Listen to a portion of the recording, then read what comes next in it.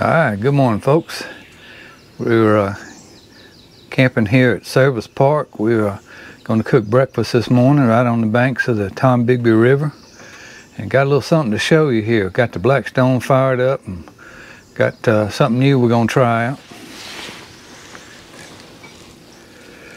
All right, there's the Blackstone. Got it going.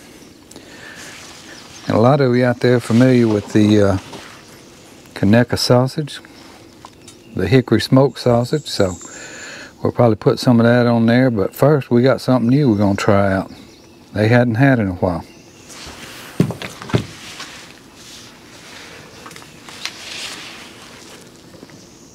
We got Conecuh patty sausage.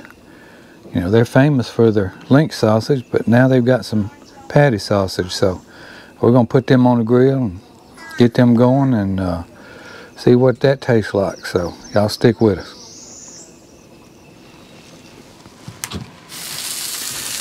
All right, we got a few links of the smoked sausage on there. And we got the Conecuh patty sausage. So we're gonna finish cooking these up and we'll let you know what we think about them.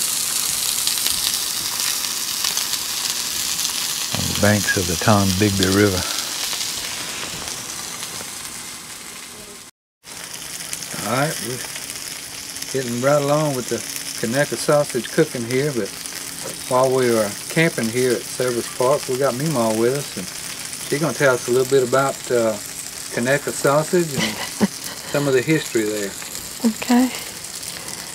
Well, I grew up in Conecuh County, was born and grew up there, and uh, back in the 40s, I'm thinking it was like 47. I think I understand how Conecuh got started, but it was Conecuh Quick Foods. And um, they had a place out in town where um, I grew up in the country, but out in town in Evergreen, they had a place where they could slaughter the the animals, and they would cut them up and prepare, you know, prepare them like packages and like they do the hamburger meat and the steaks and and the pork chops and all that and wrap them and put them, and you could rent a locker. And my daddy would rent a locker, and uh, when they needed the meat, they would go out there and get it because they didn't have electricity at that time. And so uh, that was just really convenient to do that. And they had, uh, they made sausage at that time too, but now they've start, they have got a new patty, uh, they call it the fresh meat, and um, that you can buy out at the store on on 65. But I don't know if they sell it at, at the other stores or not. But it's really good too. But um, then when we got electricity, Daddy bought a deep, what we call deep freeze.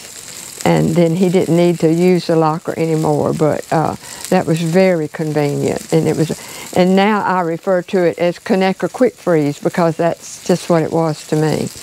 I grew up with it like that. That's really And. I'm, in, I'm going to enjoy some of this sausage this morning for breakfast. Tammy's fixed us some biscuits, and we're going to have some hot biscuits and Conecuh sausage for breakfast this morning. Right, thanks Meemaw for sharing that story with us. And I'm glad to. Glad to. So Yeah. we're going to put the camera down and get after this sausage and biscuit. All righty. Here we go.